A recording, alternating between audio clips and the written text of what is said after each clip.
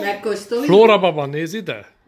Na, érted, hogy, értetted, hogy mit mondok? Igen. Ó, Flóra babának mondtam, hogy néz ide, és ide nézett. És most kóstolgatja a születésnapi tortáját, amit az előbb fújtak el. Gyerekek, mondom, főztem kemény tojás, van felvágott kolbász, paprika, paradicsom, meg rakott tészta is. Azt még nem sütöttem meg a sütőbe, csak összeraktam. A Flóra babából média személyiség lesz. Itt több kép, több, több felvevő irányul rá, és minden mozdulatát rögzíti. Tessék, itt van.